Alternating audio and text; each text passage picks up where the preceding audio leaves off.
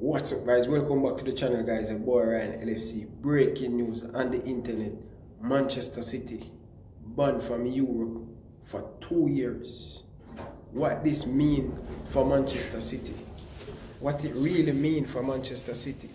For not in the Champions League for two years and Europe, financial, what that going to mean for Manchester City? Honestly, Manchester City is a very rich club guys. I don't think it's going to be a problem for Manchester City without playing the Champions League for two years. They have a millionaire owner, high money. They have a lot of money winning the English Premier League over the years, compete in the Champions League. They have a lot of money. I don't think this will affect Manchester City, but will Pep Guardiola, will this be the ice upon the cake for Pep Guardiola to leave Manchester City?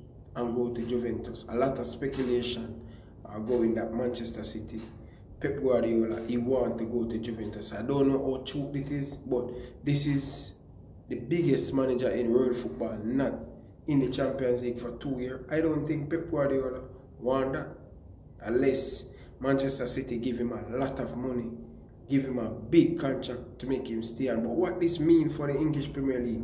Over the years, we know that Manchester City has been dominant in the English Premier League. 2017, over 100 points. Last year, I think they get what 90. I think a 99 points them get. Liverpool get 98 and didn't win the league. This going forward for Manchester City. Born from Europe, they're going to focus on the FA Cup, the Carling Cup, and the English Premier League. A lot of teams going to suffer from this.